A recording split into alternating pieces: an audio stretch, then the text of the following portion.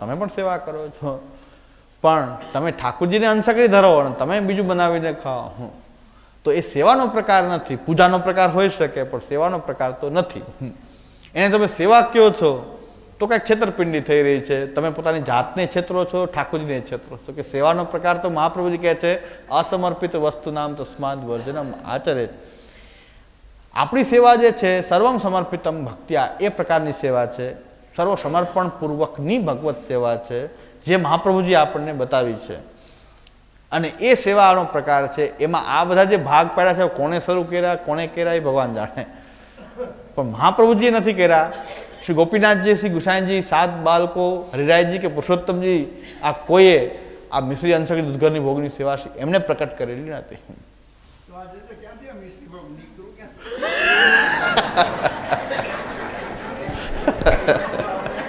આવું જોઈ છે. હંસકડીઓ હાલે અને ઘેરે ગમે એમ કરીને જેમ એને હાલે આજ્ઞા કોણ આપે હમ એ મારા કૃષ્ણ કોણ આપે એટલે આપણે મહાપ્રભુજીની આજ્ઞા શું છે સમજી લઈએ. અને એ આજ્ઞા, મહાપ્રભુજીની જે આજ્ઞા છે એ પ્રમાણે કરીએ. મહાપ્રભુજીએ જે વ્યવસ્થા આપણને આપી છે, એ આજ્ઞા એ જ છે, મહાપ્રભુજી જે આપી છે ને એ આજ્ઞા છે. અમે જે આજ્ઞા આપીએ, એ અમારી આજ્ઞા હોતી નથી. હકીકતમાં આપણે ત્યાંની પદ્ધતિ શું છે કે અમે જે આજ્ઞા આપીએ, એ અમારી આજ્ઞા હોતી નથી. મહાપ્રભુજીની જે આજ્ઞા હોય એ તમને અમે સંભળાવી દઈએ છીએ. ઘણા વૈષ્ણવ કહે છે, મેં આપની આજ્ઞા માંગી મેં કીધું, મારી આજ્ઞા ન હોય પણ મહાપ્રભુજીની જે આજ્ઞા છે, તમને કદાચ ખબર ન હોય, હું તમને એનું ભાષાંતર કરીને સમજાવી દઉં. કે મહાપ્રભુજી આમ કહે છે. આજ્ઞા શ્રી મહાપ્રભુજીની હોય છે. તમને ખબર નથી કે શ્રી મહાપ્રભુજીની શું આજ્ઞા છે, તો અમે એને સંભળાવી દઈએ છીએ કે ભાઈ, આ રીતે શ્રી મહાપ્રભુજી આમ આજ્ઞા કરે છે. તો વારે વારે ઘણા તો ઠાકોરજી પધરાવી જાય, પછી અન્નકૂટ કરે તો ફોન કરે કે ભાઈ અન્નકૂટ કરવાની આજ્ઞા આપો. મેં કીધું બધી આજ્ઞા એક સાથે થઈ ગઈ, સેવા કરવાની આજ્ઞા છે. બ્રહ્મ સંબંધ તમે લીધું છે, આજ્ઞા બધી તમને થઈ ગઈ છે. હવે તમે અન્નકૂટની આજ્ઞા માંગો, હવે અમે આ કરવાની આજ્ઞા આપો. તો બધી આજ્ઞા એક સાથે હોય છે કે ભાઈ તમે ઠાકોરજીને પધરાવીને સેવા કરો. તમારા ઘરમાં ઠાકોરજીને પધરાવીને સેવા કરો. મહાપ્રભુજી શું આજ્ઞા કરતા હતા કે તું જે કાંઈ લે છે, એ ભોગ ધરીને હવે એટલો ફેરફાર કરવાનો, સેવામાં અને પછી તમે જે રોજ રહેતા હતા, એમાં ફેરફાર શું કરવાનો છે કે તમે જે કાંઈ ખાનપાન એમને એમ બનાવીને કરતા હતા? તો ભોગ ધરવા માટેની વ્યવસ્થા આવી હતી કે તમે જે કાંઈ લો છો, એ ઠાકોરજીને ભોગ ધરો. હવે આ મિશ્રીનો ક્યાં સવાલ આવે? અંચકડી લેતા હો તો અંચકડી ભોગ ધરો. મિશ્રી ખાતા હો તો મિશ્રી લો.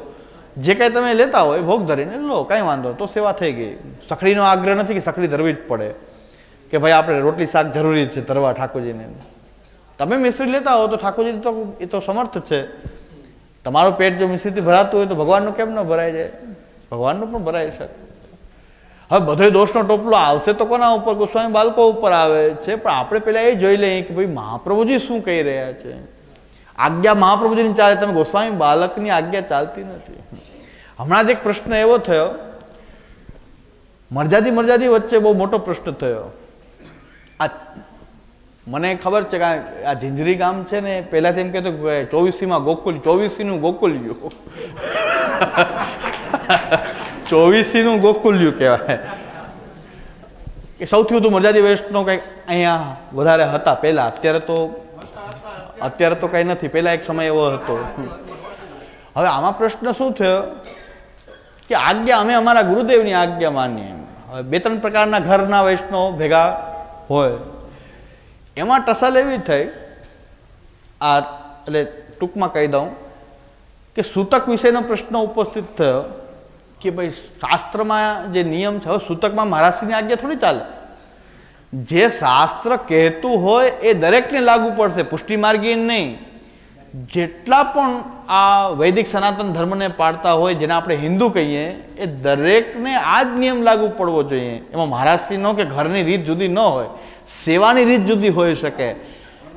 વર્ણાશ્રમ ધર્મની રીત જુદી જુદી ન હોઈ શકે. તો એમાંય મહારાષ્ટ્રીએ કાઢ્યું કે નહીં, અમારા ઘરના સેવકો છે છે, એની રીત વર્ણાશ્રમ ધર્મ પાળવામાં જુદી. પ્રશ્ન ઉપસ્થિત એ થયો કે સૂતકનો નિયમ એ છે કે એક સૂતક ચાલતું હોય અને બીજું સૂતક આવે, તો પહેલા સૂતક સાથે બે સૂતક ઉતરી જાય. પહેલું સૂતક તમે સાંભળ્યું હોય, ન સાંભળ્યું હોય તો ન ઉતરે બે ભેગું. પણ પહેલું સાંભળેલું હોય ને પાડતા હો તમે સૂતક, એમાં બીજું આવે.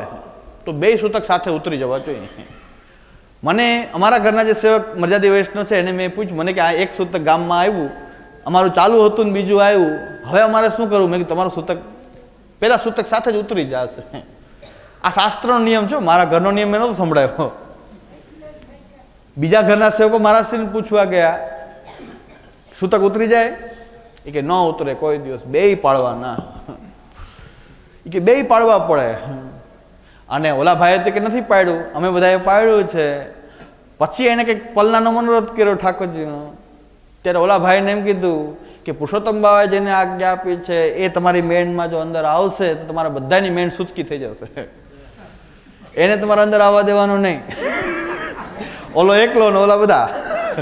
ગામમાં વીસ પચીસ મજાદી છે. એમાં આ એકલો. એને કાઢવા માટે મહારાષ્ટ્રી મોટું ષડયંત્ર એવું બનાવ્યું કે એ સૂતકી છે, હજી સૂતકી છે, કારણ કે એને બીજું સૂતક છે, એ પહેલું ઉતારી નાખ્યું.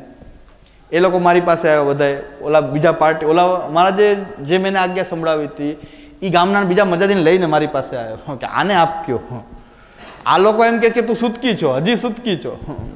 તારે કે મારે અડવું નથી, જવું નથી, પણ એમ કહે છે કે સૂતકી છે.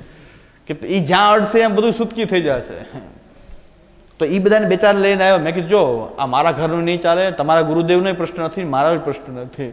શાસ્ત્ર જે કહેતું હોય, એ શાસ્ત્ર જે કહેતું હોય એ માનવું પડશે. એટલે મેં ગુજરાતીમાં ધર્મ સિંધુ જે ધર્મશાસ્ત્રનો ગ્રંથ છે, એ ગુજરાતીમાં ભાષાંતરવાળો રાખ્યો છે. મેં કીધું, તમે વાંચો. આ તમને ગુજરાતી વાંચતા આવડતું હોય તો તમે જ વાંચો. આમાં શું લખ્યું છે કે પ્રથમ સૂતક ચાલતું હોય, એમાં બીજું સૂતક ભળે તો બે એક સાથે ઉતરી જાય. આ તમે એ પોતે ભાઈ વાંચો મેં તમે જ વાંચો હું ભાઈ તમે કે ખોટું વાંચી દીધું એમ કહેતો? તમે વાંચી લ્યો. એણે વાંચ્યું કે આમાં તો આમ કહે છે, બરાબર છે. પછી પાછા ગામમાં જઈને કે ભાઈ, એમાં ભલે ગમે એમ કર્યું હોય, પણ આપણા ગુરુદેવ શું કહે છે? આપણે તો એમ જ કરવાનું. પણ ગુરુદેવનો વિષય નથી, ગુરુદેવ વાંચ્યું નથી શાસ્ત્ર. અને એમને એમ જીક્યા જીક કરે છે. તો શું કરવું? ઓલો જે ખરેખર શાસ્ત્રની હિસાબે શુદ્ધ થઈ ગયો છે, એને તમે સુતકી માનો છો. એ અડવોય ન જોઈએ આખા ગામમાં બહિષ્કાર. મેં તમારે બહુ સારું થયું, કોઈ તમને મનોરથનું કે નહીં, સામગ્રીનું કે નહીં, ક્યાંય તમારે અડવું નહીં, જવું નહીં. તો શાસ્ત્રમાં આજ્ઞાનો ભેદ ગુરુદેવની આજ્ઞા, શાસ્ત્ર અને ગુરુદેવને ખબર નથી, પણ શાસ્ત્ર વંચાવું છું કે શાસ્ત્ર શું કહે છે? ધર્મશાસ્ત્ર શું કહે છે? એમાં બાજુ ગુજરાતી ભાષાંતર એનું નીચે લખેલું છે. એ વાંચી લ્યો. જો સૂતક ઉતરવાના છેલ્લા દિવસે જો સૂતક આવ્યું હોય તો ત્રણ દિવસ. છેલ્લા દિવસ હોય તો વચ્ચે નહીં. દસનો સવાલ નથી, તમારા પંદર હોય. પણ એ દસ બ્રાહ્મણ માટે છે. પંદર રાત્રિ જે પાડતા હોય એને પંદરમે દિવસ ગણાશે. જે પંદર રાત્રિ પાડતા હોય એને પંદરમે દિવસે આવેલું સૂતક હોય તો એ ત્રણ વખત ત્રણ દિવસ પાડવું પડે. આવો એક શાસ્ત્રનો નિયમ છે. આ વૈશ્ય માટે પંદર દિવસ છે. તો પંદર રાત્રિનો જે નિયમ છે એની અંદર જો પંદરમે દિવસે જો આવતું હોય તો ત્રણ દિવસ વધારાના. તો પૂરું તો નહીં જ. મહારાષ્ટ્રી તો આજ્ઞા એમ કે પૂરું જ પાડવું પડે. અહીં ત્રણ દિનનો નિયમ છે કે ત્રણ દિવસ વધારે પાડવા બસ. તો કે નહીં, પંદર દી આના ને પંદર દી આના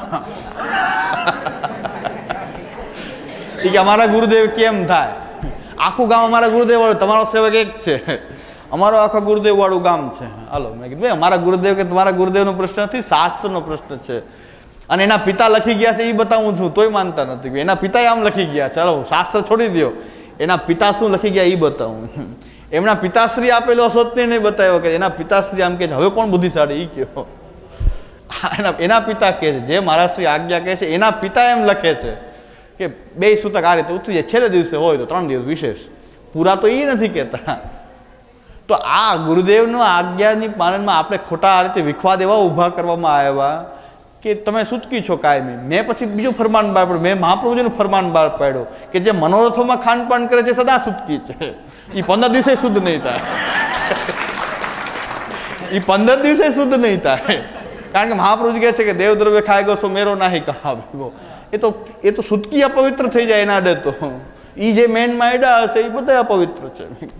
તો આ વાત છે કે શાસ્ત્ર દ્રષ્ટિ બહુ તમે આને ખેંચશો, તો ભાઈ તમારી ઉપર વાત આવશે કે આટલું બધું ન ખેંચો આને, કે તમે પછી, તમે કાયમી સુતકી થઈ જશો. કે જે લોકો દેવ દ્રવ્ય ખાય છે, કાયમી સુતકી છે. એને કોઈ શુદ્ધ કરી શકતું જ નથી.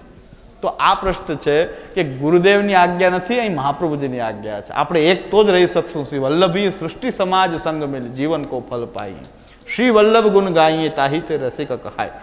મહાપ્રભુજીમાં વિશ્વાસ પાછો આપણો સ્થાપિત થાય. ગુરુદેવ ખોટું કહી રહ્યા છે ને આપણે શહીદ થવું પંદર દી ફરજિયાત પાડવા તોય એ કે આમાં ગુરુદેવની આજ્ઞા છે. શાસ્ત્ર વંચાયું તો કે નહીં એ ન ચાલે. શાસ્ત્રનું આપણે શું કામ છે? આપણે ગુરુદેવની આજ્ઞા. મેં કીધું ગુરુદેવના ઘરમાં સૂતક આવે ને તો એ ઉતારી દે છે. એના ઘરમાં આમ જ ઉતારતા હોય સૂતક. તમને કે જ પંદર દી પાડો તો આવી જે ચાલી રહી છે રીતભાત, એમાં આપણે જો મહાપ્રભુજીને સમજી જશું કે આપણે શ્રી મહાપ્રભુજીથી બંધાયેલા છીએ, ગુરુદેવથી બંધાયેલા નથી. ગુરુદેવ જો મહાપ્રભુજીની વાત કરે, તો શિરો માન્ય છે, એમાં કોઈ સવાલ નથી. પણ એ મહાપ્રભુજી કે શાસ્ત્રથી વિરુદ્ધ કોઈ વાત કરે, તો આપણે માનવા માટે બંધાયેલા નથી. આટલો વૈષ્ણવમાં વિવેક આવવો જરૂરી છે. કોઈની ટીકા ટિપ્પણની વાત નથી. આટલો વિખવાદ, કે વૈષ્ણવ છે, આટલો વિખવાદ ઊભો કરવો? કે એને આખો અલગ કરી થવો, એની ઉપર આખા ગામને જુદા, મૂળ ષડયંત્ર જુદા કરવાનું છે. બીજું કે તમે તમે બીજેથી આજ્ઞા લીધી છે, એને જુદા કરવા માટે આખું ષડયંત્ર ઊભું કર્યું. કે આપણે બધા જો એને, એ મેન માણસે છોવાઈ જશું. બટ કેવી રીતે છોવાઈ જશું? કારણ કે શાસ્ત્ર શુદ્ધિ કહે છે અને મહાપ્રભુજી સ્પષ્ટ આજ્ઞા કરે છે કે ભાઈ, શાસ્ત્રનો સિદ્ધાંત એ હું કહી રહ્યો છું. કંઈ નવા નિયમ હું બનાવતો નથી. તો આટલું આપણે સમજવા માટે શિબિરોમાં સિદ્ધાંતની ચર્ચા કરીએ છીએ કે ભાઈ મૂળભૂત વસ્તુને સમજી જશું તો કેટલાય ગોટાળામાંથી આપણે બચી જશું? અને ખોટો ગુરુદેવમાં વિશ્વાસ આપણે રાખશું ક્યારેક આપણો અહિત થઈ શકશે. મહાપ્રભુજીમાં વિશ્વાસ હશે તો છેતરાશું નહીં. અને એટલા માટે આપણે બધાએ મને બહુ આનંદ છે કે છૂટથી તમે બોલો છો, સામે પ્રશ્ન પણ રજૂ કરો છો. જે કાંઈ વાત હોય એ રજૂ કરો છો, કાંઈ વાંધો નથી. કે તમે બોલ્યા છો. વચ્ચે બોલતા હોય તો કોઈને એમ લાગે કે વચ્ચે ન બોલાય. બોલાય. સિદ્ધાંતની કે ગ્રંથની વાત હોય તો બોલાય. એમને બીજી ચર્ચા ન કરાય. પણ સિદ્ધાંતિક ચર્ચામાં તમે ભાગ લઈ શકો છો. તમારે લેવો પણ જોઈએ. અને ભાગ લેશો તો પ્રશ્ન આપણો હલ થશે. ઘણા એને મનમાં મનમાં પ્રશ્ન રહી જાય. બોલી શકે નહીં. એના કરતાં બોલી લે તો વાત પૂરી થઈ જાય. તો આપણે એટલા માટે આ એક શિબિર રાખીએ છીએ. આ પહેલી શિબિર છે. પ્રથમ વખત છે. એટલે આપણે બહુ પાયાની વાત રજૂઆત કરું છું. દર વખતે કરવી ન પડે. પહેલી વાર હોય ત્યારે આપણે બહુ પાયાની વાત મહત્વની રજૂ કરવી જોઈએ. તો આજે અહીં સુધી રાખીએ છીએ. કાલે આપણે ફરીથી વિચાર કરીશું કેરો બરો દ્રઢૈન ચરણન કેરો દ્રઢૈન ચરણ શ્રી વલ્લભ ચંદ્ર છટા સબ જગમાં જય નેરો ભરો.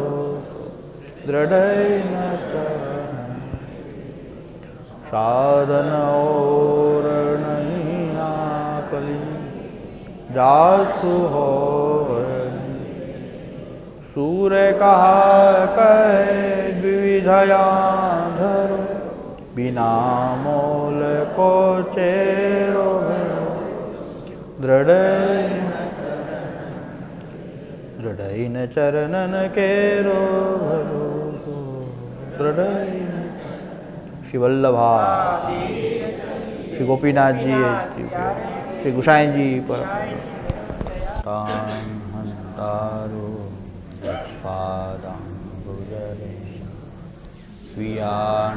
તાન નિજાચાર્ય પ્રણમામિ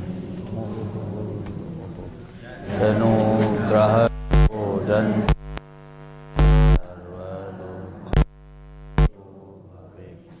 तमहं सर्वदा वन्दे श्रीमद्वल्लभनन्द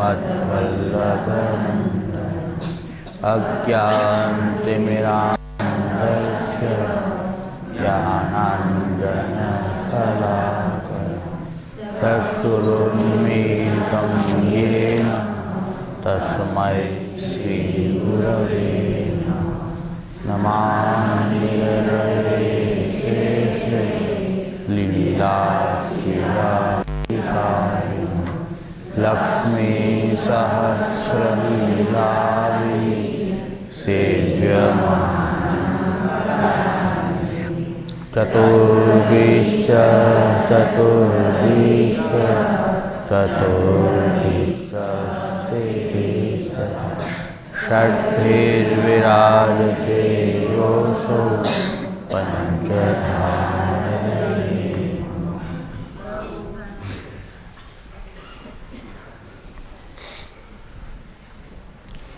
આપણો વિષય પુષ્ટિ માર્ગના મૂળભૂત સિદ્ધાંતો પૈકી શરણાગતિ આપણો મુખ્ય વિષય છે. કાલે સંપ્રદાયની પરિસ્થિતિ, સિદ્ધાંતો, સિદ્ધાંતોની આવશ્યકતા એના વિશે આપણે થોડોક વિચાર પ્રારંભિક કર્યો છે. બહુ આનંદની વાત છે કે કાલે પણ ઘણા લોકોએ પ્રશ્ન કર્યા, ચર્ચામાં ભાગ લીધો, ચર્ચા પણ કરી. આનંદની વાત છે. પ્રશ્નો પણ ઘણા બધા પ્રશ્નો છે. તો આપણે પ્રશ્નો પણ લેશું. પહેલાં આપણે શરણાગતિનો થોડોક વિચાર કરીએ. અને જે પ્રશ્નોમાં જે જિજ્ઞાસા કરી છે, એનો પણ આપણે સમાધાન મેળવવા પ્રયત્ન કરશું. એક વસ્તુ સ્પષ્ટ છે કે પુષ્ટિ માર્ગ એ શ્રી આ સંપ્રદાય એ શ્રી મહાપ્રભુજીના સિદ્ધાંતો ઉપર અવલંબિત માર્ગ છે, સંપ્રદાય છે. મહાપ્રભુજીના સિદ્ધાંતો આ માર્ગની અંદર સર્વોપરી છે. એ વસ્તુ આપણે ક્યારેય ભૂલવી જોઈએ નહીં. કોઈ પણ ગુરુ આજ્ઞા, કોઈ પ્રણાલિકા, કોઈ ભગવદીઓની વાત એ મહાપ્રભુજીના સિદ્ધાંતથી પર ક્યારેય પણ હોઈ શકતી નથી. શાસ્ત્રની અંદર જે પ્રમાણની જે વ્યવસ્થા છે, એની અંદર સૌથી પહેલાં વેદ એ સૌથી મોટું પ્રમાણ છે. શ્રુતિ એ સૌથી મોટું પ્રમાણ છે. ત્યાર પછી ઋષિઓની રચેલી સ્મૃતિઓ એ બીજો કલ્પ છે. ત્રીજો કલ્પ છે સદાચાર શ્રુતિ અને સ્મૃતિ અનુસારનો જે સદાચાર છે એ પણ પ્રમાણ છે. અને ચોથો કલ્પ છે સ્વરુચિ. તો શ્રુતિ સ્મૃતિ સદાચાર, સ્વસ્ય ચ પ્રિયમાત્મના. તો ચાર રીતે પ્રમાણ નક્કી થાય છે કે શ્રુતિ સૌથી મોટું પ્રમાણ છે. ઋષિઓના જે શાસ્ત્રો, જેને આર્ષશાસ્ત્રો કહેવાય છે, એ સ્મૃતિઓ એ જો વેદથી વિરુદ્ધ ન હોય તો પ્રમાણ છે. સ્મૃતિઓ જો વેદથી વિરુદ્ધ જતી હોય કોઈ ઋષિની વાત, તો એ પ્રમાણ કહેવાતી નથી. પ્રમાણનો અર્થ જે કાંઈ પણ શાસ્ત્રમાં થતો હોય, પણ આપણે સામાન્ય અર્થમાં એમ સમજીએ કે જે બંધન કરતા નથી. કોઈને ધર્મ રૂપે કે આચરણ કરવા માટે એ વાત બંધન કરતા નથી કે જે સ્મૃતિઓ કે ઋષિઓના શાસ્ત્રની એ વાત જે શ્રુતિ એટલે કે વેદથી વિરુદ્ધ હોય, એ ક્યારેય પ્રમાણ ગણાતી નથી. પછી આવે છે સદાચાર, ભક્તોનો સદાચાર, કે કોઈ મહાપુરુષનો સદાચાર, કે ઋષિનો સદાચાર, સારો આચાર, સદાચાર, આચરણ કરવા યોગ્ય, કે કોઈ આચરણ કરેલું, જે કાંઈ પણ છે, એ શ્રુતિ અને સ્મૃતિ આ શ્રુતિ અને સ્મૃતિ બંનેથી જો વિરુદ્ધ ન હોય તો સદાચાર પ્રમાણ છે. એટલે આપણે ત્યાં શું વ્યવસ્થા છે? આપણે વિચાર પડે શાસ્ત્રની વ્યવસ્થા શું છે? કાલે ઘણા બધા પ્રશ્ન થયા કે જો મિશ્રી ભોગ દૂધગર અનસકરીની સેવા નથી તો આજ્ઞા શું કામ આપવામાં આવે છે? આજ્ઞાની વાત આવી. કાલે ચર્ચા થતી હતી એવી રીતની કે ભાઈ, તો પછી આજ્ઞા જ ન આપવી જોઈએ ને? કે આવું ક્યાંથી? કોઈકને આપણે તો મેં તો કીધું, ભાઈ, અમે સ્વીકારવા તૈયાર છીએ કે ભાઈ, અમારો સિત્તેર ટકા દોષ અમારો હશે, પણ ત્રીસ ટકા તમારો હશે તો ખરો ને, ભાગ તો રાખવો જ પડશે, સાવ. સાવ છૂટી ન જવાય કે બધું બાળકોએ જ કર્યું છે. ગોસ્વામી, બાળકોની જ બધી ભૂલ છે. ચાલો, સિત્તેર ટકા સ્વીકાર કરી લી, પણ ત્રીસ ટકા તમારો ભાગ છે. જે કાંઈ અવ્યવસ્થા ઉત્પન્ન થાય છે, જે કાંઈ માર્ગની અંદર જે કાંઈ પણ થાય છે, કદાચ સિત્તેર ટકા અમારો ભાગ હશે, પણ ત્રીસ ટકા, પંચોતેર ટકા અમારો હોય તો પચીસ ટકા તમારો હોવો તો જોઈએ. પણ જે કાંઈ પણ એકબીજા પર દોષારોપણ કરવાથી કોણે આવ્યું, ક્યાંથી શરૂ થયું, કોણે આજ્ઞા આપી, એ બધી વસ્તુ બહુ મહત્ત્વની વસ્તુ નથી. મહત્ત્વની વસ્તુ એ છે કે આજના સમયમાં આ કાલની અંદર શું શ્રી મહાપ્રભુજીનો સિદ્ધાંત આપણે આચરણ ન કરી શકીએ એવી પરિસ્થિતિ ઉત્પન્ન થઈ છે? કે પાંચસો વર્ષ પહેલાં સિદ્ધાંતનું આચરણ થઈ શકતું હતું, આજે ન થઈ શકે, આજે ન ચાલે. એવા મહાપ્રભુજીના સિદ્ધાંતો એટલા અવ્યવહારુ છે કે જે આજના સમયમાં કોઈ આચરણ ન કરી શકે એવી વાતો કરીએ આપણે, કે આજના સમયમાં તો આજના સમયના પ્રમાણમાં થવું જોઈએ, આપણે ક્યાંથી એવું કરી શકીએ? એ વાત સાવ ભૂલ ભરેલી છે, ભ્રામક છે. આજના સમયમાં ગમે તેવી પરિસ્થિતિની અંદર પણ આજે આપણે મહાપ્રભુજી બતાવેલા બધા જ સિદ્ધાંતોનું આચરણ કરી શકીએ છીએ, પણ વસ્તુ એ છે, કરવું હોય તો.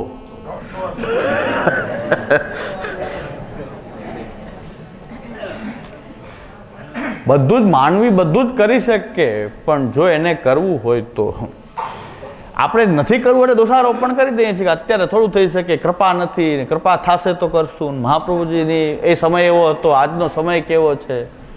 આમાં આમાં ક્યાંથી સિદ્ધાંતનું આચરણ થઈ શકે? પણ મહાપ્રભુજીના સિદ્ધાંતો, શ્રી આચાર્યચરણના સિદ્ધાંતો એવા નથી કે જે પાંચસો વર્ષ પહેલાં થઈ શકે, આજે ન થઈ શકે. દરેક સિદ્ધાંત આજે આપણા જીવનની અંદર આપણે આચરણમાં મૂકી શકીએ છીએ. આચરણ કરી શકીએ છીએ, એટલા સરળ છે, વ્યવહારુ છે અને કાલની સાથેનો કોઈ સંબંધ નથી. કાલોયમ કઠિનોપી શ્રી કૃષ્ણ ભક્તાન ન બાધતે. પુષ્ટિ કાલાદિ બાધિકા. તો ભગવાનની પુષ્ટિને કાલનું કોઈ બંધન નડતું નથી.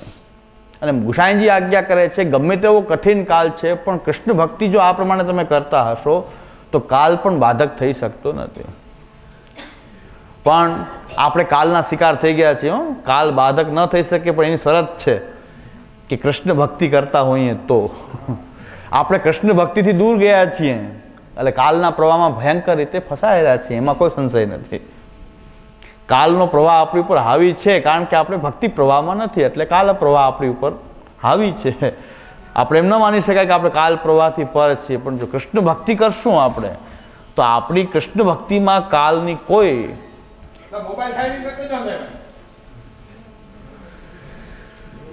કૃષ્ણ ભક્તિ જો કરતા હશું, તો કાલ આપણને કોઈ રીતે નડી શકવાનો નથી. તો પહેલો સિદ્ધાંત, મૂળભૂત પાયાનો સિદ્ધાંત આપણો, પહેલી દીક્ષા આપણી શ્રી કૃષ્ણ શરણમ શરણાગતિ એ આપણો પહેલો સિદ્ધાંત છે, પાયાનો સિદ્ધાંત છે, પહેલી દીક્ષા છે આપણી શ્રી કૃષ્ણ શરણમ પ્રથમ દીક્ષા આપણને નામ મંત્ર શરણાગતિની દીક્ષા આપણને સૌથી પહેલાં આપવામાં આવે છે. હવે દીક્ષાની વાત કરીએ તો આપણને એમ લાગે કે બ્રહ્મ સંબંધ દીક્ષા એ મુખ્ય દીક્ષા છે, મોટી દીક્ષા છે, ઉદ્ધાર કરનારી દીક્ષા છે, નામ મંથન દીક્ષા એક સાધારણ દીક્ષા છે. આપણને એવું લાગે છે. કારણ કે આપણી એવી પ્રથા થઈ ગઈ છે કે બ્રહ્મ સંબંધ બધાને આપી જ દેવું ને લઈ જ લેવું. અમારી અંદર એવી ઘેલછા થઈ ગઈ છે કે બ્રહ્મ સંબંધ અમારે આપતા જ રહેવા. તમારા લોકોમાં એવી ઘેલછા થઈ ગઈ કે ભાઈ બ્રહ્મ સંબંધ તો લેવું જ જોઈએ. પણ સિદ્ધાંત શું કહે છે? મેં કાલે તમને વાર્તા જોવાનું કીધું તમે ઘરે જોઈને આવજો. વાર્તા ગ્રંથની વાત નથી કરતો. ષોડશ ગ્રંથોની કે નિબંધની કે ગ્રંથની વાત નથી કરતો. વાર્તાઓની વાત કરું છું કે વાર્તાઓ તમે વાંચો છો. નિયમિત ભગવદ્ વાર્તાની અંદર પણ ચોરાસી બસો બાવનની વાર્તાઓ, શિક્ષાપત્ર એ વંચાય છે. તો વાર્તામાં જુઓ, તમે લિસ્ટ કરો. કેટલા મહાપ્રભુજી ગુસાઈજીના સેવકો એવા છે કે જેમને બ્રહ્મ સંબંધ નથી? તો આંકડો મેં મારું લિસ્ટિંગ કરેલું છે, તો લગભગ સિત્તેર ટકા એવા છે કે જેમને બ્રહ્મ સંબંધ નથી. સિત્તેર ટકા. ત્રીસ ટકા જ બ્રહ્મ સંબંધી છે. અને એમાંય ત્રીસ ટકા જે બ્રહ્મ સંબંધી છે, એ એકલ દોકલ આખો પરિવાર પણ નહીં હો.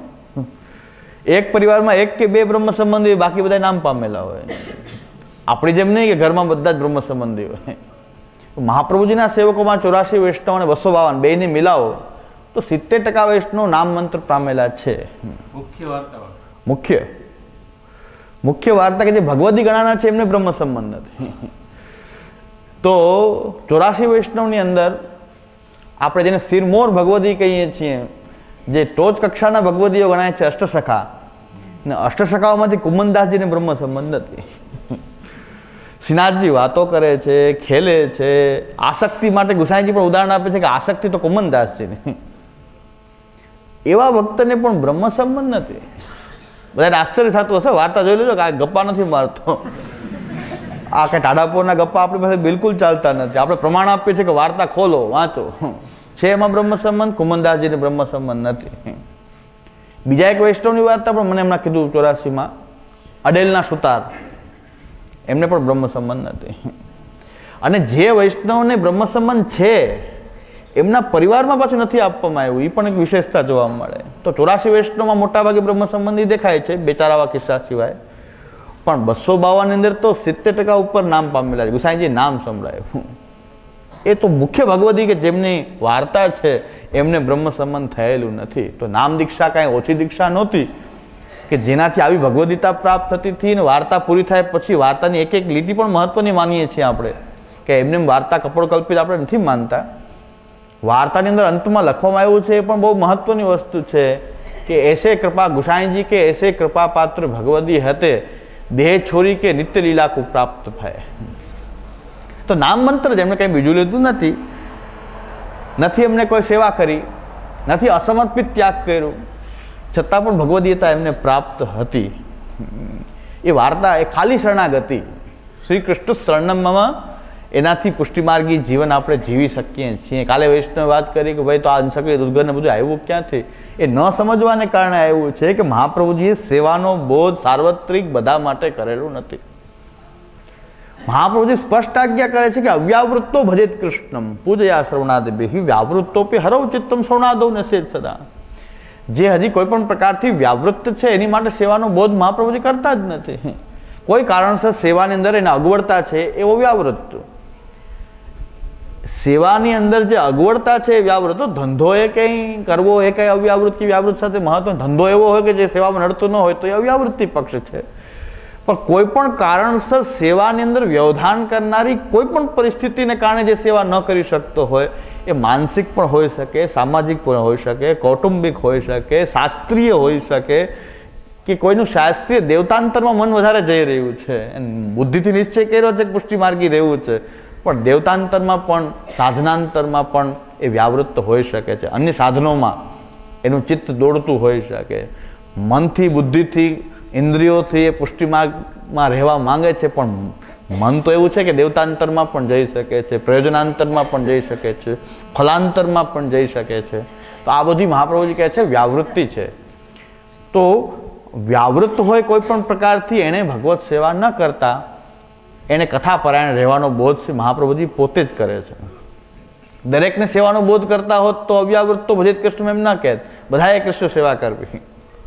પણ અવ્યાવૃત્તો ભજેત કૃષ્ણમ પૂજયા શ્રવણાદિપી વ્યાવૃત્તોપી હરૌચિત્તમ શ્રવણાદો સદા તો આપણે એ સમજવાનું છે કે પુષ્ટિમાર્ગીય વૈષ્ણવની અંદર મોટા ભાગનો વર્ગ એવો જ છે કે જે ભગવત સેવામાં પ્રવૃત્ત થઈ શકે તેમ નથી. આપણે વિચાર કરવો પડશે કે મોટા ભાગના વૈષ્ણવ એવા છે. તમે અહીં બેઠા હશો. કાલે જ વાત થઈ કે ભાઈ ગામની અંદર પહેલાં બાવન મરજાદી હતા, અત્યારે ચૌદ મરજાદી છે. ચાલો. ગામમાં વૈષ્ણવની સંખ્યાના પ્રમાણમાં ઠાકોરજીની સમર્પિત સેવા કરનારાનો વર્ગ તો હંમેશા ઓછો જ હોય છે. બહુ ઓછો હોય છે, દસ ટકા પણ ન કહેવાય. ગામની વસ્તી એમાં બાવન મરજાદી હોય તો બાવન મર્યાદી આપણને એમ લાગે કે બહુ વધારે છે. પણ સૈદ્ધાંતિક દ્રષ્ટિએ જુઓ, તો મહાપ્રભુજીના સેવકો જે બ્રહ્મ સંબંધ લેનારા છે, એ બધા જ ઠાકોરજીને સમર્પિત સેવા કરનારા હોવા જોઈએ. સૈદ્ધાંતિક રીતે. પુષ્ટિ માર્ગનો સિદ્ધાંત એમ કહે છે કે બ્રહ્મ સંબંધ લેનારા એ સેવા લઈને સેવા કરનારા જ હોવા જોઈએ. બ્રહ્મ સંબંધ લઈને સેવા ન કરવી એ પુષ્ટિમાર્ગના સિદ્ધાંતથી વિરુદ્ધ છે. એટલે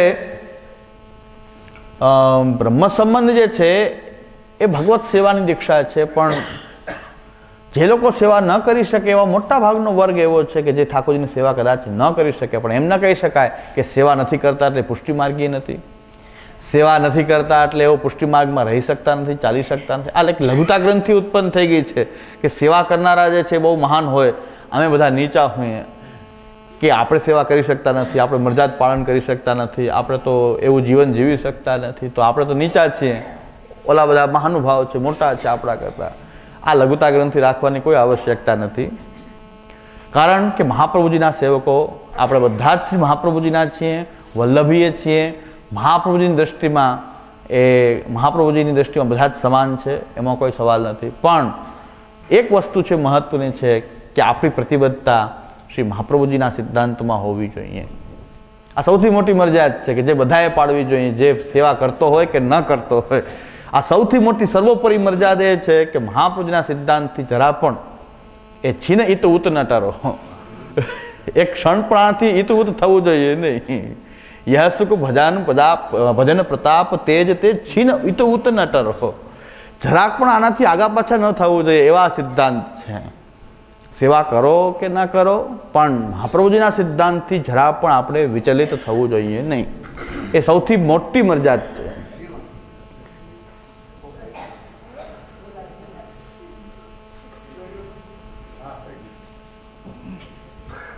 એટલે શરણાગતિ એવો પાયાનો સિદ્ધાંત છે કે સેવા કરતા હોય, ન કરતા હોય, કરી શકતા હોય, ન કરી શકતા હોય, કરવાની ઈચ્છા હોય કે ઈચ્છા ન હોય.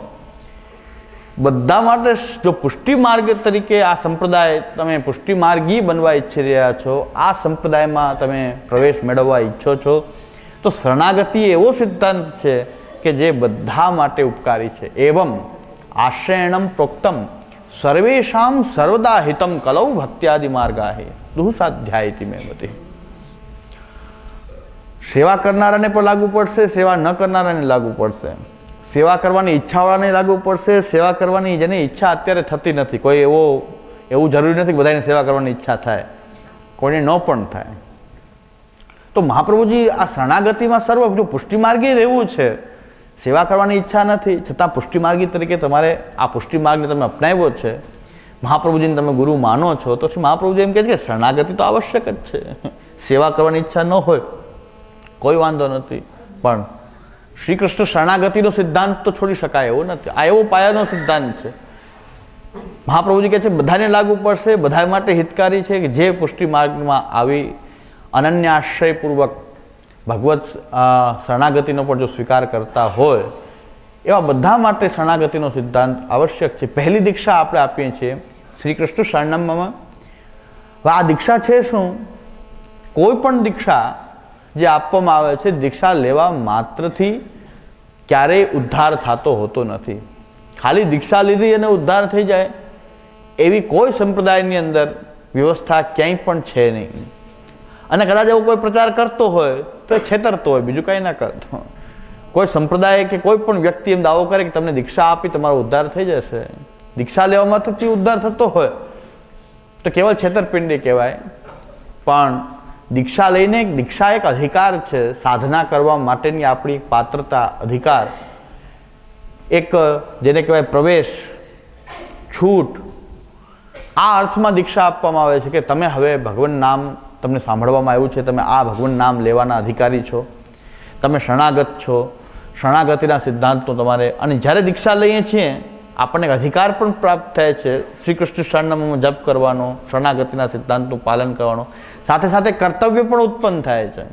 કોઈ પણ દીક્ષા લીધા પછી તરત જ કર્તવ્ય ઉત્પન્ન થાય છે કે હવે તમારે કેવી રીતે રહેવું જોઈએ? અત્યાર સુધી તમે જે પણ રહેતા હતા, પણ દીક્ષા લીધા પછી તમારું જીવન કઈ પ્રકારનું હોવું જોઈએ? એ કર્તવ્ય. એ કયા કર્તવ્યો જે છે એ પણ આવશ્યક છે. તો નામ દીક્ષા લઈએ. ભગવાનના નામની દીક્ષા લેવામાં આવે. શ્રી કૃષ્ણ એ નામ છે. ત્યાં શ્રી કૃષ્ણ જે છે એનું મંત્રત્વ છે. આ શ્રી કૃષ્ણ અને શરણમ મમ એ આપણી પ્રતિજ્ઞા છે. શ્રી કૃષ્ણ એ નામ મંત્ર છે. આ બે આપણા જે દીક્ષાના મંત્રમાં બે જોડાયેલું છે. શ્રી કૃષ્ણ ઇતિ નામ મંત્ર. જે શ્રી કૃષ્ણ એ નામ મંત્ર છે પોતે, મંત્રોપી એકસ્તસ્ય નામાની યાની અને શરણમ મમય આપણી પ્રતિજ્ઞા છે કે હે પ્રભુ, હે શ્રી કૃષ્ણ હું આપની શરણમાં છું. શ્રી કૃષ્ણની હું શરણમાં છું. શરણમાં આવવું એને કહેવાય છે શરણાગતિ. ભગવાનના શરણમાં આવવું. શરણમાં જવું નહીં શરણમાં આવવું. કારણ કે આપણે એમાંથી જ છૂટા પડેલા છીએ. ફરી પાછા એની તરફ જ જઈએ ત્યારે આપણી શરણાગતિ થાય. એ પરબ્રહ્મ શ્રી કૃષ્ણ છે, એ પરમ બ્રહ્મ છે, પરમાત્મા છે, એમાંથી જ આપણે અંશ રૂપે બધા જીવો છૂટા પડેલા છે. હવે એ પાછા, એ પોતાના અંશી તરફ પાછી ગતિ કરે, એ આ ગતિ છે, ફરી પાછા જઈ રહ્યા છે. જ્યાંથી નીકળ્યા છે ત્યાં આવી રહ્યા છે. ઘરમાંથી નીકળ્યા ફરીને આખા વિશ્વમાં ફરીને આવીએ, પણ પછી પાછા ઘરે આવી રહ્યા છે. તો શ્રી કૃષ્ણ શ્રી કૃષ્ણ એવું ઘર છે કે એમાં હું ફરીથી જ્યાં હતો અને ફરીથી ત્યાં જ આવી રહ્યો છું. શરણમ ગ્રહ રક્ષિત્રો. શરણનો અર્થ ઘર પણ થાય, રક્ષક પણ થાય. તો શ્રી કૃષ્ણ એક એવું ઘર છે, એવું આશ્રય સ્થાન છે. ઘરને આપણે આશરો કહીએ છીએ ગુજરાતીમાં કહીએ છીએ કે આશરો. ઘર એ આપણો એક આશરો છે. કે ભાઈ, અત્યારે આખી જિંદગી ભલે ઝૂંપડા એક હોય કે એક છાપરું નાખીને રહેતા હોય, તો આપણે એમ કે આશરો તો છે. તો ઘર એક આશ્રય છે. શરણાગતિ શરણ એટલે આશ્રય. તો ભગવાન કૃષ્ણ એક એવું ઘર છે, એવું આશ્રય સ્થાન છે કે આપણે પાછા તેમાં એ ઘરની અંદર પાછા રહી, પાછા તેમાં પહોંચી જઈએ, પાછા તેની તરફ આવીએ. તો આ ગતિ છે. એટલે શરણ આ ગતિ શરણમાં આવવું છે. જ્યાંથી છૂટા પડેલા આપણે ત્યાં જ ફરી જઈએ છીએ. એ આપણો શરણાગતિ છે. તો શરણ એટલે ગ્રહ પણ થાય છે, શરણ એટલે રક્ષક પણ થાય છે. કૃષ્ણ મારો રક્ષક છે. ભગવાન શ્રી કૃષ્ણ એ મારો રક્ષક છે. હવે પ્રશ્ન એ થાય છે કે આપણે શ્રી કૃષ્ણ શરણમમાં કહી રહ્યા છીએ. તો આપણે પછી શું કહેશું કે અન્યાશ્રય ન કરવો જોઈએ. અન્યાશ્રયમાં બાધક છે. અન્યાશ્રય ન કરવો જોઈએ. આવી કેસેટ વગાડવા છતાં અન્યાશ્રય કરનારનો અન્યાશ્રય છૂટતો નથી. આવી કેસેટ આપણે ખૂબ વગાડી છે. અન્યાશ્રય ન કરાય. અન્યાશ્રય, મહાબાધક છે. મોટો અંતરાય છે, અપરાધ છે, અન્યાશ્રય. આવું ગમે એટલું કહેવામાં આવે, પણ જે અન્યાશ્રય કરે છે, એનો અન્યાશ્રય કોઈ આવી વાતોથી છૂટતો નથી. તો અન્યાશ્રય કે આશ્રયનો આ રીતે ગમે એટલો બોધ કરવાથી આશ્રય કોઈ અધિકારી હોય મહાપૂજન કૃપા હોય, છૂટી જાય, એ વસ્તુ અલગ છે.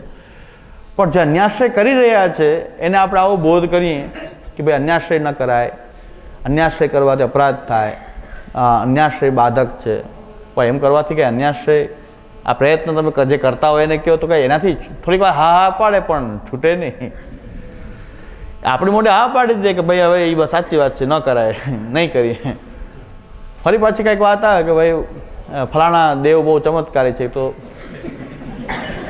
એ મામા દેવે ચાલે ને સાંઈ બાબાએ ચાલે જો આપણું કામ થઈ જતું હોય તો ગમે નંબરમાં આપણને કોઈ વાંધો પુષ્ટિમાર્ગીય વૈષ્ણવ અન્યાશ્રય કરનારા હોય છે, નથી હોતા? એવું નથી કે પુષ્ટિમાર્ગીય વૈષ્ણવ કારણ કે દીક્ષા આપતા પહેલાં કોઈ ખરાઈ, ચકાસણી આપણે ત્યાં છે નહીં. આવવાની બધાને છૂટ.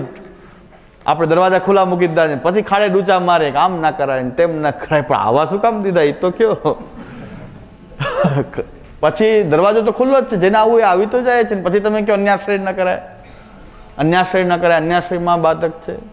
પણ જેનાની અંદર કૃષ્ણની અંદર ભાવ છે, કૃષ્ણમાં રુચિ છે કમસે કમ રુચિ કૃષ્ણ તરફ થઈ રહી છે. બીજા દેવી દેવતાઓ કરતાં કૃષ્ણ એને વધારે પ્રિય લાગે છે કે કાંઈક એને સારું દેખાય કૃષ્ણમાં. એવું કંઈક ચેક કરીને જેને કૃષ્ણ પ્રત્યે કંઈક ભાવ છે, એને તમે દીક્ષા આપો તો આ પ્રશ્ન જ ન થાય કે તમારા અન્યાશ્રય ન કરો કારણ કે શું કામ આવ્યો છે સંપ્રદાયમાં? જેને કૃષ્ણમાં રુચિ છે એટલે સંપ્રદાયમાં આવ્યો છે એ આપણી દીક્ષા પહેલાં ચકાસણી કરવાની હતી આ બધી. એ થતી નથી. બીજું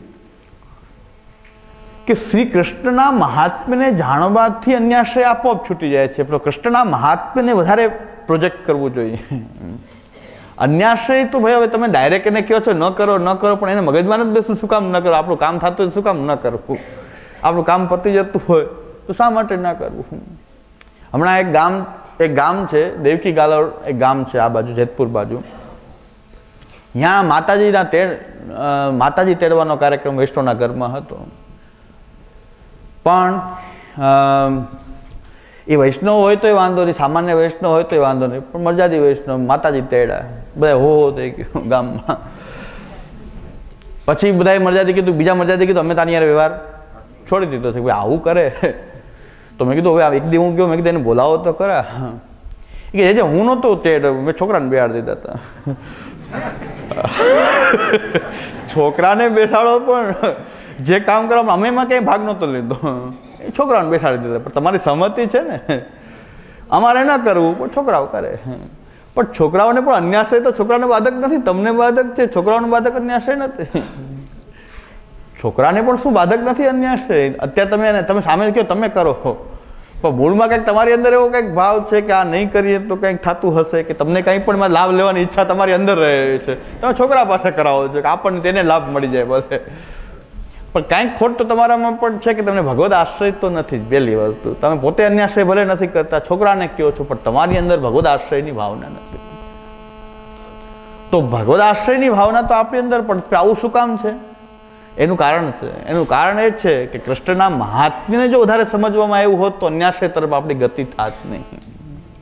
મહાત્મ્યને સમજ્યા વગર ડાયરેક્ટ આપણને કોઈ બોધ કરે તો આપણને એ બહુ લાગી શકતો નથી. પણ કૃષ્ણના મહાત્મ્યને આપણે જો સમજીએ, તો આજે હું એ કહેવા માંગુ છું કે શ્રી કૃષ્ણને સમજવા માંગીએ છીએ આપણે. પછી શરણમાં એટલે કે આપણી આ શરણાગતિ શું છે? કેની શરણમાં છે એને પહેલાં જાણવું જોઈએ કે શ્રી કૃષ્ણ એટલે કોણ? શ્રી કૃષ્ણ એટલે કોણ? તો શ્રી કૃષ્ણની શરણાગતિ શા માટે? બીજાની શું કામ ન કરી શકાય? શિવની શરણાગતિ શું કામ ન કરવી? કોઈ દેવતાની શરણાગતિ શા માટે ન કરવી? કોઈ દેવીની શરણાગતિ શા માટે ન કરવી? શા માટે શ્રી કૃષ્ણની શરણાગતિ કરવી જોઈએ? તો પહેલી વસ્તુ કે શ્રી કૃષ્ણને એટલે કોણ? આપણા ઠાકુરજી એટલે કોણ? અગિયાર વર્ષ અને બાવન દિવસનો કૃષ્ણ જ માન્ય છે. એ બાલક કૃષ્ણ માન્ય છે? કિશોર કૃષ્ણ માન્ય છે કે નહીં? એ રાજલીલાનો રાજ, એ દ્વારકામાં વિરાજતો કૃષ્ણ આપણો કૃષ્ણ છે કે નહીં? કૃષ્ણમાં શું મર્યાદા અને પુષ્ટિનો ભેદ છે કે નહીં? કૃષ્ણ વિશેના બધા જ પ્રશ્નો આપણી અંદર જાગૃત થવા જોઈએ. મોટા મોટા ભગવતી બનીને ફરે છે એ પણ એમ કહે છે કે નહીં, આપણો કૃષ્ણ એટલે અગિયાર વર્ષ અને બાવન દિવસ પછી આપણો કૃષ્ણ નહીં. બસ એ કૃષ્ણ એ કૃષ્ણ પણ આપણો નહીં. એ આવ- ભ્રમણા સેવા કરનારાને પણ છે મોટા મોટા ભગવદી થઈને જે સત્સંગ કરાવનારા ભગવદીઓ છે, એને પણ આવી ભ્રમણા છે કે અગિયાર વર્ષ અને બાવન દિવસનો કૃષ્ણ આપણો, બાકીનો કૃષ્ણ આપણો નહીં. અગિયાર વર્ષ અને બાવન દિવસનો કૃષ્ણ. બીજો પ્રશ્ન ઘણા કે હવે બહુ આગળ જો ઊંડા ઉતરેલા હોય તો એમ કે કે સારસ્વત કલ્પનો કૃષ્ણ એ આપણો કૃષ્ણ, બીજો કોઈ કલ્પનો કૃષ્ણ એ આપણો કૃષ્ણ નહીં. તો કૃષ્ણ આટલા બધા છે કે કૃષ્ણના આટલા બધા વિભાગ છે, કૃષ્ણના આટલા બધા ભેદ છે? બાલકૃષ્ણ કિશોર અવસ્થાનો કૃષ્ણ, દ્વારકામ બિરાજતો કૃષ્ણ, આ બધા કૃષ્ણ અલગ અલગ કૃષ્ણ છે? તો કૃષ્ણ એટલે કોણ? શ્રી કૃષ્ણ કોણ? એ આપણે સમજી લઈએ અને જો બરાબર જો કૃષ્ણને સમજતા રહીએ એને સમજવાનો પ્રયત્ન કરતા રહીએ તો અન્યાશ્રયની પ્રવૃત્તિ આપણી અંદરથી આપોઆપ એ ગ્રંથિઓ શિથિલ થવા માંડે. અન્યાશ્રયની ગ્રંથિઓ હોય આપણી અંદર, પણ સત્સંગત્યા નવધયા ભક્ત્યા ચા અનન્યયા નિરસ્તો અન્યાશ્રય તીવ્રો તદાશ્રયો ભવે ધ્રુવમ આ શહેરાયજી આજ્ઞા કરે છે. શહેરાયજી કહે છે, સત્સંગત્યા. સત્સંગ દ્વારા નવધયા ભક્ત્યા ચા અનન્યયા અનન્ય નવધા ભક્તિ ભગવાનની સતત આવર્તન કરવાથી નિરસ્તો અન્યાશ્રય તીવ્રો અન્યાશ્રય જે ધીરે ધીરે છે એ એ શિથિલ થતો જશે અને તદાશ્રય ભગવાનનો આશ્રય છે એ દૃઢ આશ્રય એ પ્રાપ્ત થશે. તો શહેરાયજી નામમંત્ર વિવૃત્તિની અંદર આજ્ઞા કરે છે કે નામમંત્ર વિવૃત્તિ શહેરાયજીનો ગ્રંથ છે. એમાં શહેરાયજી આજ્ઞા કરે છે કે આવો આશ્રય કૃષ્ણનો થાય કેવી રીતે? તો સત્સંગ દ્વારા નવધા ભક્તિ જે શ્રવણ, કીર્તન, સ્મરણ, પાદસેવન, અર્ચન, વંદન, દાસ્ય, સખ્ય, આત્મનિવેદન, આ બધી ભક્તિનું નિરંતર આવર્તન કરવાથી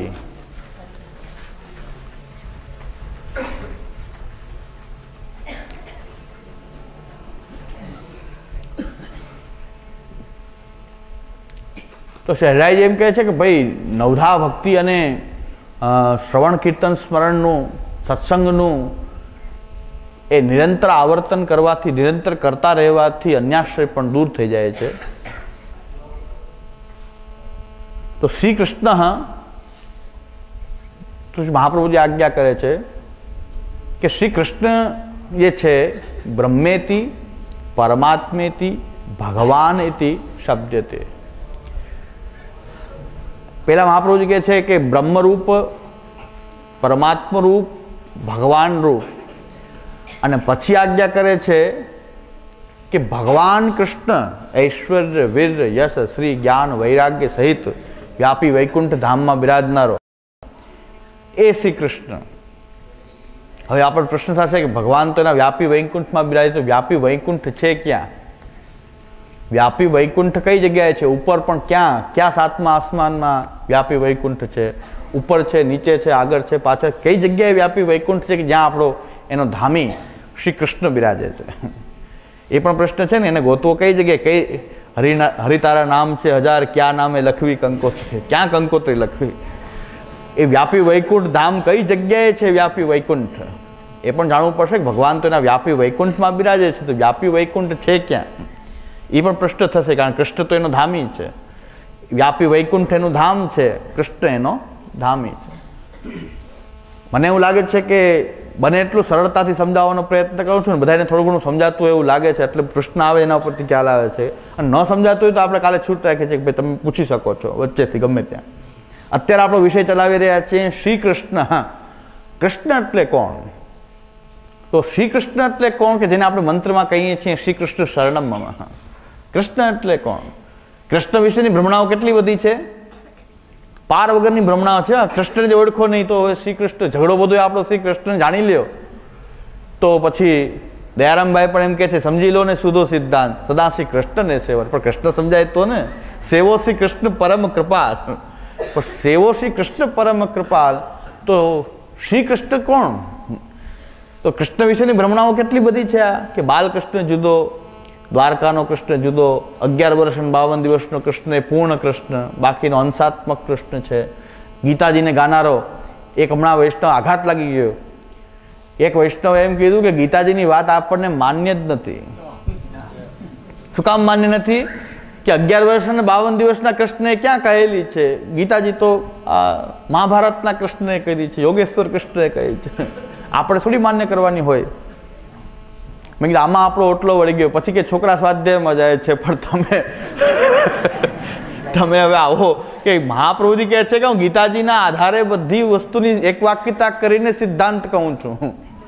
મહાપ્રભુજી એમ કે, સૌથી મોટું પ્રમાણ શ્રીમદ ભગવદ્ ગીતા મહાપ્રભુજી કહે છે કે, ભગવદ્ ગીતા સાથે બધાનું એ સંકલન કરીને ભગવાનનો જે મત છે ગીતાજીમાં એના આધારે હું શાસ્ત્રની એક વાક્યતા કરીને સિદ્ધાંત કહું છું. એમ મુખ્ય મહાપ્રભુજીમાં આજ્ઞા કરે છે કે ભગવાન શ્રી કૃષ્ણ જે શ્રીમદ ભગવદ્ ગીતામાં આજ્ઞા કરે છે, એને મૂળ પ્રમાણરૂપ માનીને, એના સાથે અન્ય શાસ્ત્રોની સંગતિ કરીને એ હું એની સાથે એક વાક્યતા કરીને સિદ્ધાંત કહું છું. એ પુષ્ટિના સિદ્ધાંતો છે. મહાપ્રભુજીએ ક્યાંય સિદ્ધાંત કોઈ પોતાનો બનાવેલો નથી. મહાપ્રભુજીની કોઈ મેન્ડ પોતાની બનાવેલી નથી સમજી લેજો. મહાપ્રભુજીની મેન્ડ મહાપ્રભુજીની મેન્ડ કરીને મહાપ્રભુજી પર આપણે ઠીકરા ભાંગી રહ્યા છે કે આ તો બધી મહાપ્રભુજીની મેન્ડ છે. મહાપ્રભુજીએ મેન્ડ બનાવી નથી. સમજી લ્યો, મહાપ્રભુજીની મેન્ડ સાચી, પણ બનાવેલી નથી મહાપ્રભુજીની. મહાપ્રભુજી પોતે સ્વીકાર કરે છે કે શાસ્ત્રોમાં જે સિદ્ધાંત કહેલો છે, બસ એને હું સંકલન કરીને કહું છું. કોઈ મૌલિક કે કોઈ કાલ્પનિક કે કોઈ પોતાની એ સિદ્ધાંત મહાપ્રભુજીનો નથી. શ્રી મહાપ્રભુજી કહે છે, શાસ્ત્રોને મેં વારંવાર વાંચ્યા છે. તો વારંવાર મેં શાસ્ત્રોને વાંચ્યા છે. વારંવાર એનો મેં વિચાર કર્યો છે. એની ગીતાજીના વચનોથી એક વાક્યતા કરીને સિદ્ધાંત પ્રગટ કર્યો છે. મહાપ્રભુજીનો પરિશ્રમ જોવો તો આપણને ખબર પડે કે મહાપ્રભુજીએ સતત શાસ્ત્રોનું મંથન કર્યું છે. અને આ સિદ્ધાંત પુષ્ટિના એ શાસ્ત્રના સિદ્ધાંત છે. ગીતાજીના સિદ્ધાંત છે એક એક સિદ્ધાંત શ્રીમદ ભગવદ્ ગીતા શ્રીમદ ભાગવત નારદ પંચરાત્ર આ બધા શાસ્ત્રો વેદ આ બધા ઉપર મહાપ્રભુજી કહે છે કે કેટલા બધા શાસ્ત્રોનું સંકલન કર્યું છે, અધ્યયન કર્યું છે શ્રી મહાપ્રભુજીએ? અર્થોયમ નિખિલેરપી વેદ વાક્ય રામાયણે સહિત ભારત પંચરાત્રે, અન્યેશ્ચ શાસ્ત્ર વચને સહતત્વ સૂત્રે નિર્ણયતે સહૃદયમ હરિણા સદૈવ. ભગવાને જે ગીતાજીમાં બધા શાસ્ત્રો, જે ભગવાને ગીતાજીમાં જે કહ્યું છે, એ સાથે આ બધા શાસ્ત્રોની સંગતિ કરી છે. સંપૂર્ણ વેદ, ઉપનિષદો, ત્યાર પછી બધી જ રામાયણો, રામાયણ એક નથી, ઘણી બધી રામાયણો મહાપ્રભુજી કહે છે, બહુવચન પ્રયોગ કરે છે રામાયણે ઘણી બધી રામાયણો છે. એ બધી રામાયણને પણ મહાપ્રભુજી પ્રમાણ બાપાઓ એમ કહેતા હોય છે કે રામાયણ તો ભગવદ્ થોડી વંચાય. અરે ભાઈ, મહાપ્રભુજી કહે છે પ્રમાણ છે. પ્રમાણ રૂપનું મહાપ્રભુજી ઉલ્લેખ કે ન વંચાય. શ્રીમદ ભગવદ્ ગીતા કે ન વંચાય. રામાયણ કે આપણે ન વંચાય. મહાભારત આપણે ન વંચાય. તો આપણે વંચાય શું? ભાગવત વંચાય કે ના? ભાગવત પૂરું ન વંચાય. દસમ સ્કંદ. આખું ભાગવત ન હોય. એ બધું મર્યાદા. ભાગવત આખું વંચાય કે નહીં? એ આખું ન વંચાય ભાગવતમાં શું વંચાય દસમ સ્કંદ. એ બસ અગિયાર વર્ષ અને બાવન દિવસ. અગિયાર વર્ષ અને બાવન દિવસ લીલા પૂરી થાય, રાસ પૂરી થાય, પછી બસ આપણે આગળનું આપણું પ્રમાણ નથી આ સમજ આપણી અંદર ઉત્પન્ન થઈ છે, મહાપ્રભુજીની સામે આમ કહે છે, અર્થોયમ નિખિલૈરપી વેદ વાક્ય રામાયણે સહિત ભારત પંચરાત્રિ. તો આ બધા અન્ય શાસ્ત્ર વચને હિ મહાપ્રભુજી કહે છે, આટલું જ નહીં. જેટલા પણ શાસ્ત્રો છે, જેટલા પણ શાસ્ત્રો છે, એ બધા જ શાસ્ત્રના વચનો. મહાપ્રભુજી આટલું બધું પ્રમાણરૂપ માની રહ્યા છે શાસ્ત્રોને એટલી પ્રધાનતા આપી રહ્યા છે પુષ્ટિ માર્ગમાં અને આપણે બધા એમ કહી રહ્યા છીએ કે શાસ્ત્રો આપણે ત્યાં પ્રમાણ નથી, વેદ આપણે ત્યાં પ્રમાણ નથી. એ રામાયણ આપણને પ્રમાણ નથી, ગીતાજી આપણને પ્રમાણ નથી, ભાગવતની અંદર પણ ખાલી દસમા સ્કંદમાં પણ એ રાસ પર્યંતની અગિયાર વર્ષની બાવન દિવસની લીલા જ આપણને પ્રમાણ છે. આ એક ભ્રામક માન્યતા છે આપણી અંદર. મહાપ્રભુજીના વચનોનો જો સ્વાધ્યાય કરો. કાલે એક ચિઠ્ઠીમાં લખ્યું છે. એક વસ્તુ પ્રશ્ન ઘણા બધા છે, સુંદર પ્રશ્ન કર્યા છે. પણ એક વસ્તુ લખી છે, એમાં જરાક ધ્યાન દોરું છું. કે અમારા નારદ બાપાની કૃપાથી આ બધું છે. એટલે હું એમ કહું છું કે કૃપા આપણે હંમેશા શ્રી ઠાકુરજીની માનવી જોઈએ. કોઈની પણ કૃપા માનવી જોઈએ. એની કૃપા એક એની જ છે. કોઈ ભગવદી આપણને મળ્યું છે તો ભગવદીની મહત્તા નથી. બીનું હરિ કૃપા મિલે નહીં સંતા. બીનું હરિ કૃપા મિલે નહીં સંતા એમ રામાયણમાં તુલસીદાસજી કહે છે કે ભગવાનની કૃપા વિના કોઈ સંત પણ મળતો નથી. કોઈ ભગવદી આપણને મળ્યો છે, પણ ભગવાનની કૃપા હોય તો. તો કૃપા આપણે ત્યાં કેવલ પુષ્ટિ પુરુષોત્તમ પ્રભુ શ્રી ઠાકુરજીની કૃપા છે વધારેમાં વધારે તો શ્રી મહાપ્રભુજીની આપણી પર કૃપા છે. બીજા કોઈની કૃપા? હું તો માનતો નથી કોઈની કૃપા હોય. હોય કોઈ ભાગવતી હોઈ શકે છે, પણ કૃપા તો શ્રી આચાર્ય ચરણની કહી શકાય. કૃપા તો શ્રી મહાપ્રભુજી શ્રી ઠાકોરજીની કૃપા છે આપણી બધા ઉપર. અને આપણે એક વસ્તુ નિશ્ચિત કરી લઈએ કે શ્રી કૃષ્ણ ક્યાંય ગૌણ થવો જોઈએ નહીં. કૃપા હોય તો શ્રી કૃષ્ણ ગૌણ થઈ જાય છો. કૃપા એની છે કે જે ભગવદીની ભગવદીતા પણ આવી ક્યાંથી? ભગવાનની કૃપાને કારણે કોઈ ભગવદીની અંદર પણ કોઈ ભગવદીતા પ્રકટ થઈ રહી છે. તો કૃપા કોની છે? ભગવદીને પકડવાની જરૂર નથી, ભગવાનને પકડવાની જરૂર. ભગવદીય દ્વારા પણ ભગવાન મળવા જોઈએ. તો ભાગ્યોદયેન બહુજન્મ સમર્જિતેન સત્સંગમમ ચ લભતે પુરુષો યદા વૈ અજ્ઞાન હેતુકૃત મોહ મદાંધકાર નાશમ વિધાય તદોદયતે વિવેક. એમ ભાગવત મહાત્મ્યમાં કીધું છે કે બહુ જન્મના કોઈ સંચિત પુણ્ય છે કે ભગવાનની પૂર્ણ કૃપા છે, ત્યારે સત્સંગ પ્રાપ્ત થાય છે. સત્સંગ પાછું એ કરે છે, અજ્ઞાન હેતુકૃત મોહ નાસમ નાશમ વિધાય તે વિવેક. અજ્ઞાનના કારણભૂત મોહ મદનો અંધકાર જે છે, સત્સંગથી દૂર થઈ જાય છે. અને વિવેક જાગૃત થાય છે. તો વિવેક જાગૃત શું થવો જોઈએ? કે કોઈ ભગવદીય છે, એના ઉપર પણ કૃપા કોની છે? એ ભગવાનની કૃપા છે શ્રી કૃષ્ણની કૃપા છે. અને દયારામભાઈ પણ સ્પષ્ટ કહે છે કે મહાપ્રભુજીની કૃપાથી બધું સુલભ છે. વલ્લભ શરણ થકી સૌ થઈ પડે સહેલું, દૈવી જીવો પ્રતિ દયો ગાયે હોચી રહે મહાપ્રભુજીનું શરણ છે કે શ્રી મહાપ્રભુજીની એવી કૃપા છે. એટલે હું કંઈ ઓલા માટે નથી કહેતો, પણ કૃપા આપણી ઉપર શ્રી કૃષ્ણની કૃપા છે. કૃપા કોની શક્તિ છે? કૃપા શક્તિ જ પ્રભુની છે. ભગવાનની જે દ્વાદશ શક્તિ છે, એમાં એક પુષ્ટિ શક્તિ છે ભગવાનની. ભગવાન સિવાય કૃપા બીજે ક્યાંય જતી જ નથી, કારણ કે ભગવાનની અંદર રહેલી શક્તિ છે. અને થોડી ઘણી કોઈને પણ પ્રાપ્ત થાય છે, તો અંશાત્મના એ બધાને પ્રાપ્ત થતી હોય છે, પણ પૂર્ણપણે પુષ્ટિ એ શક્તિ જે છે, ભગવાનની છે, અને ભગવાનની જ કૃપા થાય છે. ભગવદીઓ પર પણ ભગવાનની કૃપા છે, આચાર્યો પણ પણ ભગવાનની કૃપા છે. કારણ કે મહાપ્રભુજી કહે છે, અહમ નિરુદ્ધો રોધેને નિરોધ પદવીમ ગતા. હું જે રીતે આ નિરોધની પદવીને પ્રાપ્ત થયો છું, એવી રીતે નિરુદ્ધાનાંતુ રોધાય નિરોધમ વર્ણયામી તે.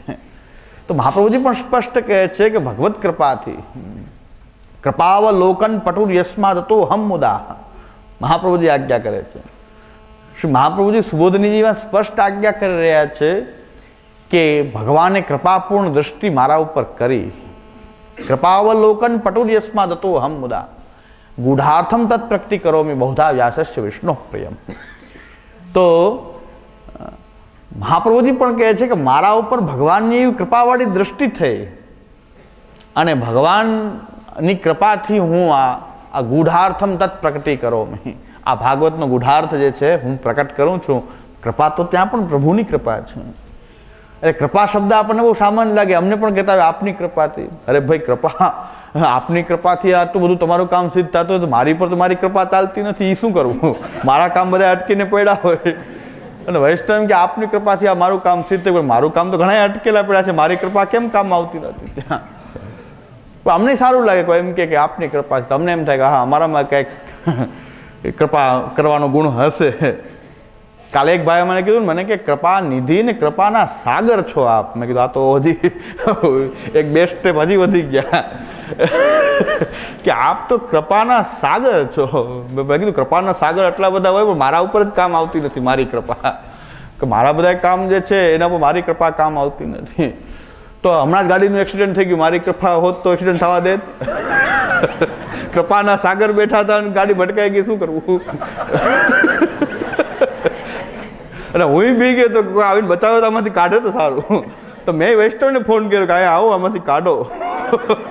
આ કૃપાના સાગરનામાંથી ઉગારો. તો મારે ફોન તો વેસ્ટર્નને કરવો પડ્યો ને. કૃપાના સાગર. એટલે વૈષ્ણવ કાલે મને કહેતા કૃપાના સાગર છો આપ. મેં કીધું એ વાત બરાબર છે પણ મને એવું લાગતું નથી. એ કાલે મેં એની ચર્ચા તો કરી લીધી હજી પાછું ક્લિયર નથી થયું લાગતું. દેખાય છે પણ હકીકતમાં સામર્થ્ય એનામાં જ છે. શું મહાપ્રભુજીમાં છે?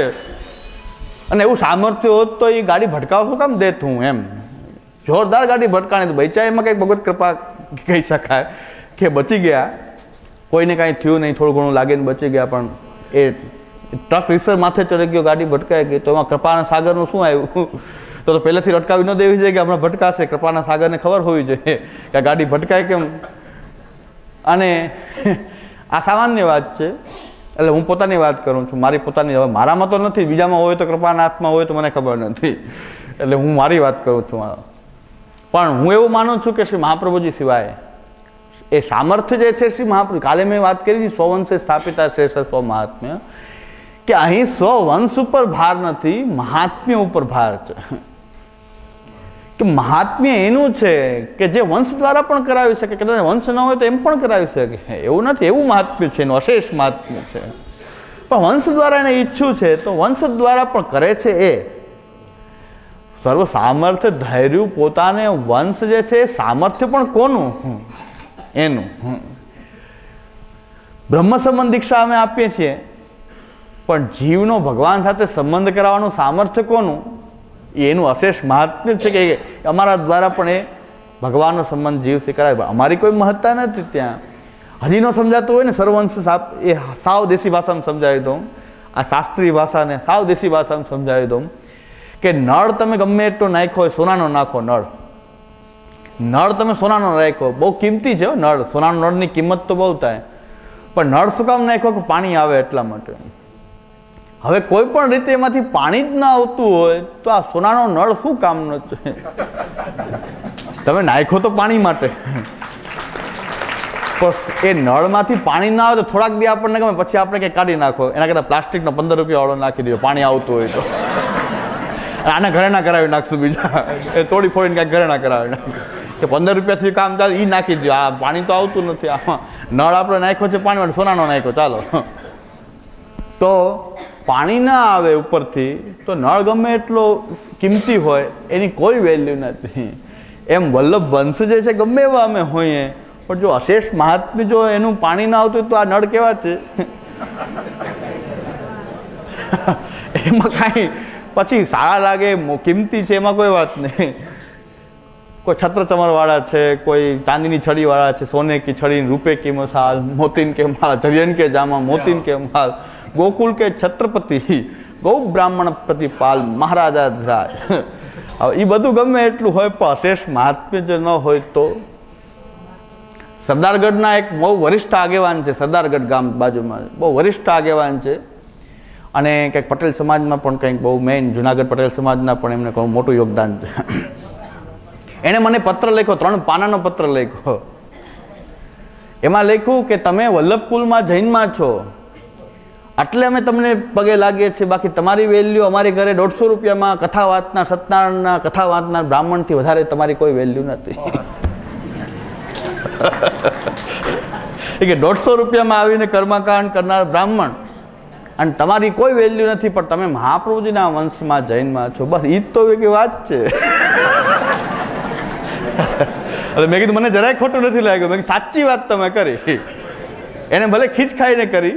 કીધું સાચી વાત તો હું કહેવા માંગુ છું કે મહાપ્રભુજીના કારણે અમારી કિંમત છે બાકી દોઢસો રૂપિયાની કથા હું આવત કરવા અને તમે પટેલ વંશમાં જૈનમાં હું વલ્લભકુલમાં જૈનમાં એમાં હવે આવતે વખતે જે કાંઈ ફેરફાર કરવો કરી લેજો તમને તો આવતા તમે જન્મી જાજો હું પાછો ત્યાં આવી જઈશ કઈ વાંધો નહીં હવે આ તો અત્યારે ફિક્સ થઈ ગયું થઈ ગયું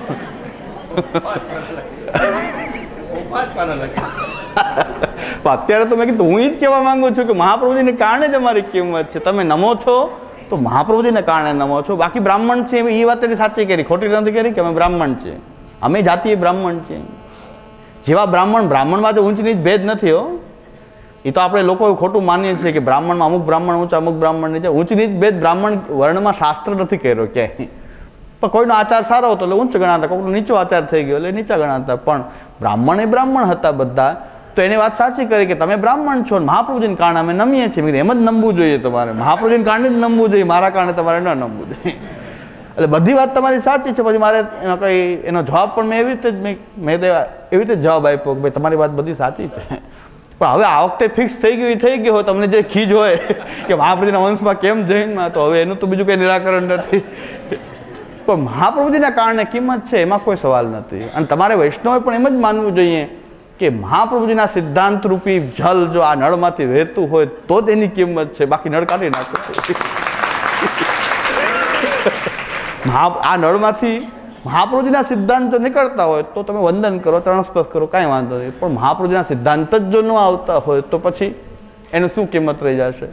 એટલે આ જે પત્ર અહીંયા આ બાજુનું ગામ છે ને, મને યાદ આવી ગયું કોઈ સરદારગઢના વૈષ્ણવ, મને પત્ર મોટો બધો ટાઈપ કરેલો પત્ર આપ્યો. અરે શું મહાપ્રભુજી આપણા ગુરુ છે? એટલે હું તો એવો આગ્રહ રાખું છું, ક્યારે તમે જે બોલો છો, આપણે ત્યાં એ ઘણી બધી પ્રથા ખોટી પડી ગઈ છે. શ્રી વલ્લભાધીશ કી જે બોલીએ, એટલે અમારા જેવા બધા આવી જાય. પણ મહાપ્રભુજી જે બોલવી જોઈએ, આપણે બધા જ શ્રી મહાપ્રભુજીના અનુયાયીઓ છીએ. હું પણ મહાપ્રભુજીનો અનુયાયી છું, તમે પણ મહાપ્રભુજીના અનુયાયી છો. દરેકે શ્રી વલ્લભાધીશ કી જે બોલીએ, વધારે આગળ બોલવામાં આવે તો શ્રી ગોપીનાથજી, જે શ્રી મહાપ્રભુજીના પ્રતિનિધિરૂપ કહેવાય છે, શ્રી ગોપીનાથજીની જે બોલીએ, શ્રી ગુસાઈજીની જે બોલીએ, સાત બાળકોની બોલીએ, બીજા કોઈની જે બોલવાની આવશ્યકતા જરા પણ આ માર્ગમાં છે નહીં. મહાપ્રભુજીની મહત્તા આપણે વધારવી જોઈએ, એ જ આપણા સર્વસ્વ છે. વ્યક્તિની મહત્તા મહાપ્રભુજી કરતાં પણ વધારે રહ્યા છીએ. પહેલાં અમારે બધા જે બોલાય પછી છેલ્લે વલ્લભા આદિ શકી જાય. તો અમારી મહત્તા છે મહાપ્રભુજી કરતાં વધી ગઈ. એટલે જે એક જ બોલીએ તો બધું આવી જાય. વલ્લભાદ ઈસકી જે બોલીએ એટલે બધું આવી જાય. ગુજરાતીમાં એવી કહેવત છે કે હાથીના પગમાં બધાના પગ આવી જાય. એટલે બહુ મોટા જે હોય એમાં બધા નાના બધા સમાય જાય. કહેવત એમ કહેવા માંગે છે હા. મહાપ્રભુજીને હાથીની ઉપમા નથી આવતા આપણે. પણ એ કહેવત એમ કહે છે કે ભાઈ મોટા પગમાં બધાના પગ આવી જાય. હાથીનો પગ એવડો મોટો હોય કે બીજા બધાના પગ એની અંદર આવી જાય. એમ શ્રી મહાપ્રભુજી એવા સાગર છે. કૃપાના સાગર જે વાત થઈ ને, કૃપાનો સાગર કૃપા નિધિ એ શ્રી મહાપ્રભુજી છે. અમે તો બધા એક એક બિંદુઓ છે કે જેની અંદર સમાયેલા છે. તો આ પ્રકાર છે કે ભાઈ શ્રી મહાપ્રભુજી આપણા બધાના ગુરુ છે. શ્રી વલ્લભાધીશ કી જય